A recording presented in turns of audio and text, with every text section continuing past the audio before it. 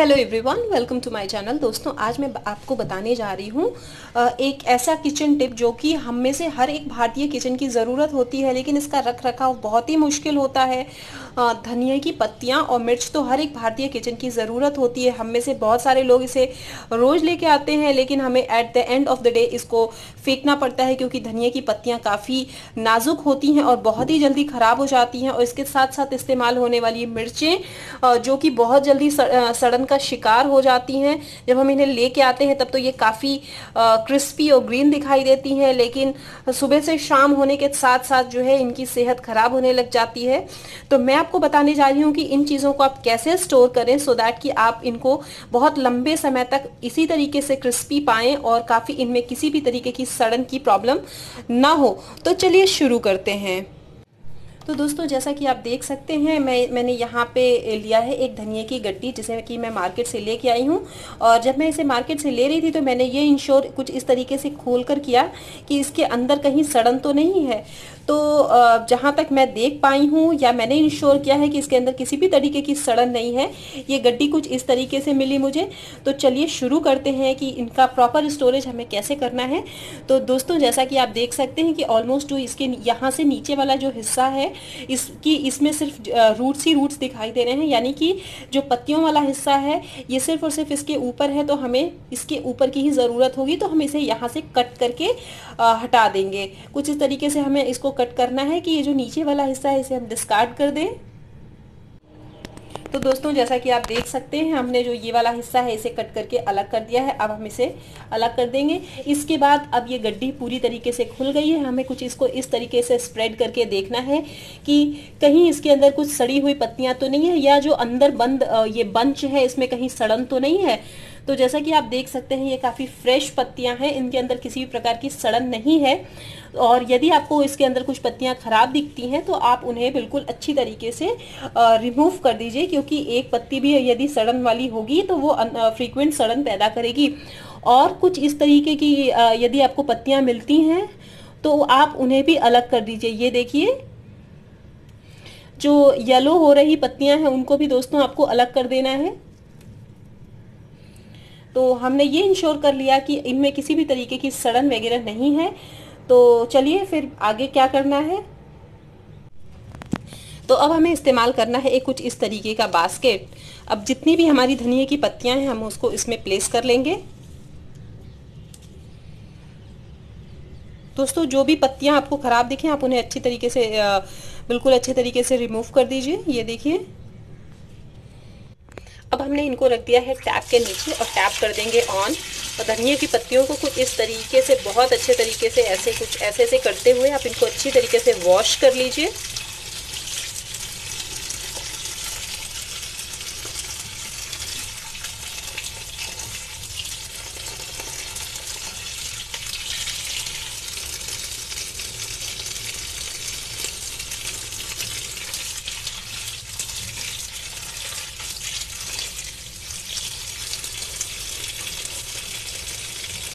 तो जैसा कि आप देख सकते हैं, हमारी पत्तियाँ जो हैं, वो बहुत अच्छी तरीके से वॉश हो गई हैं।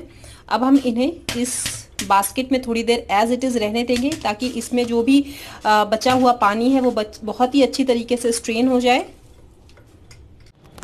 तो दोस्तों, करीब 20-25 मिनट हो गए हैं। इन पत्तियों से पूरा पानी जो है, वो रिंस हो चुका है।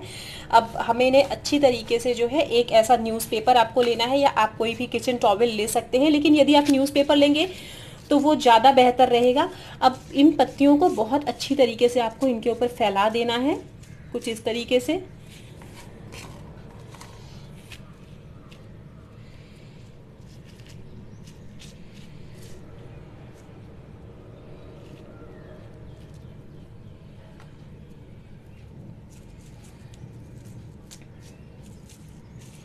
इस तरीके से स्प्रेड कर दीजिए और फ़ैन ऑन करके करीब आधा घंटा इन्हें सूखने दीजिए। ये बहुत अच्छी तरीके से इनका सूखना बहुत ज़्यादा ज़रूरी है। तो चलिए दोस्तों, देखते हैं कि इन मिर्चों को क्या करना है। तो सबसे पहले मिर्चें जो हैं, हमने उनमें भी ये इंश्योर कर लिया थी कि कोई भी मिर्च जो है सड़ी गली ना हो। तो सबसे पहले मिर्चों का जो ये पोर्शन है ना, उनको आप कुछ इस तरीके से रिमूव करते जाएँ। ये देखिए एक एक करके सारी मिर्चों का जो हेड वाला हिस्सा है वो रिमूव करते जाएँ। और ध्यान रखें, आपको रिमूव कुछ इस तरीके से करना है सो so दैट कि ये इस तरीके से बाहर आए। ठीक है? तो हमने ये देखिए, मिर्चों को कुछ इस तरीके से, ये देखिए, ये कुछ इस तरीके से ऐसे करना है। ये ये आप जब इस तरीके, ये देखिए, ये कैप सहित बाहर आए। तो ऐसा करते हुए हमने सारी मिर्चों का जो ये है जो डंठल वाला एरिया है, वो रिमूव कर लेना है। तो दोस्तों, जैसा कि आप देख सकते होंगे, हमारी जितनी भी मिर्चें थी, हमने उनको अच्छी तरीके से उनकी जो डंठल है, वो रिमूव कर दी है। अब हम इन्हें फिर से एक बास्केट में प्लेस करेंगे। हमें बास्केट वंस अगेन कुछ इस तरीके की ही लेनी है।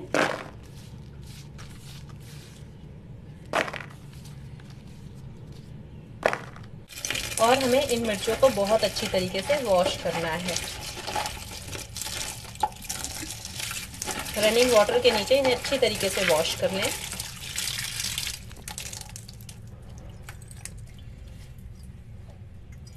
तो जैसा कि आप देख सकते हैं, हमने इसे अच्छी तरीके से वॉश कर लिया। अब इसे फिर से थोड़ी देर के लिए छोड़ेंगे जिससे कि इसका पूरा पानी निकल जाए। तो दोस्तों, हमने जहाँ धनिया रखा था, उसी पेपर पे हम मिर्चों को भी स्प्रेड कर ले रहे हैं। और इन्हें भी हम पंखे में करीब आधे घंटे अच्छी तरीके से सूखने देंगे। ये देखिए। कुछ इस तरीके से इन्हें रहने दीजिए। बहुत अच्छी तरीके से सूख जाए, इनमें कोई भी ज़रा सा भी पानी ना रह जाए। तो गैस हो गया है इनको फैलाए हुए करीब आधे घंटे फ़ैन मैंने चला रखा था। तो अब ये इंश्योर करने के लिए इनमें बिल्कुल भी पानी नहीं रह गया। हम एक किचन टॉवल लेंगे, हमें कुछ इस तरीके से इनके करते हुए, इनके ऊपर डैप डैप डैप करते जाना है। जितना भी पानी है वो हमारे किचन टॉवल के अंदर आ जाए। ये देखिए, जो मिर्चें हैं, उनको भी कुछ इस तरीके से पोछिए। ये देखिए तो जैसा कि आप देख पा रहे होंगे, ये न्यूज़पेपर जो है ना, इसने कितना पानी एब्जॉर्ब कर लिया है। यानी कि जो हमारी वेजिटेबल्स का पानी था, वो न्यूज़पेपर ने एब्जॉर्ब कर लिया है। ये देखिए बहुत अच्छी तरीके से इनको सुखा लें।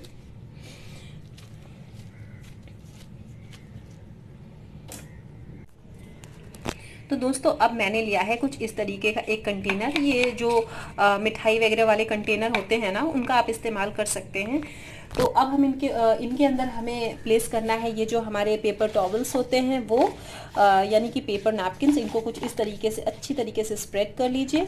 और हमारी जो मिर्चें हैं जो कि बहुत अच्छी तरीके से सूख चुकी हैं उनको आप इनमें अच्छी एक एक करके रख दीजिए। ये देखिए बहुत अच्छी तरीके से इनको प्लेस कर दीजिए इसमें।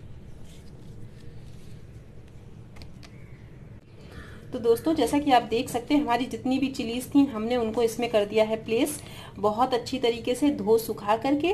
तो आप सबसे अच्छी चीज़ तो ये हो गई कि इनकी जो है शेल्फ लाइफ काफ़ी बढ़ गई। और दूसरी चीज़ ये है कि आप यदि बहुत जल्दी में हैं तो आप डायरेक्टली इन्हें इस्तेमाल कर सकते हैं, क्योंकि आपको पता है कि आपने इन्हें अच्छे से धो के वॉश करके रखा हुआ है। तो इन कंटेनर्स का इस्तेमाल आपको करना है। इस तरीके से आपकी ये कंटेनर्स भी वेस्ट नहीं जाएँगे।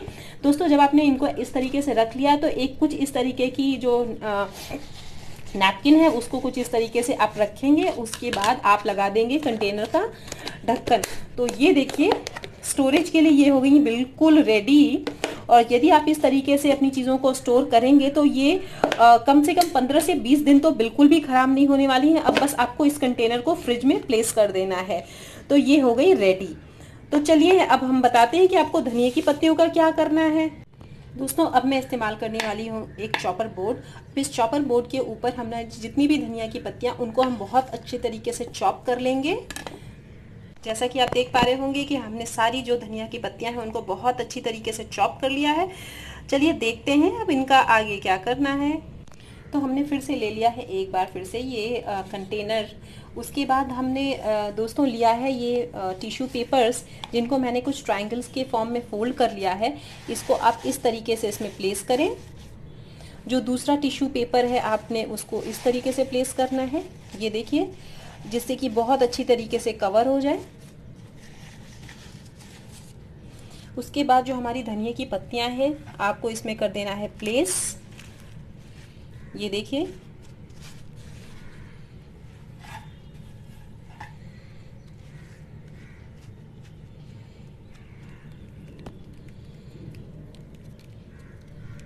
दोस्तों, इसके बाद ये जो टिश्यू पेपर का ये एरिया है, इसको आपको कुछ इस तरीके से फोल्ड करना है कि हमारी पत्तियाँ जो हैं वो पूरी तरीके से कवर हो जाएँ। जब हमारी पत्तियाँ पूरी तरीके से कवर हो जाएँगी, दोस्तों, इसे हम बहुत अच्छी तरीके से कुछ इस तरीके से करके पैक कर देंगे। उसके बाद हम इसमें लगा देंगे लिड ये देखिए, ये भी स्टोर होके हो गई रेडी तो कुछ इस तरीके से हम अपनी धनिए और मिर्ची को बहुत अच्छी तरीके से सुरक्षित कर सकते हैं। इनको रेडी टू यूज़ बना सकते हैं। ये देखिए।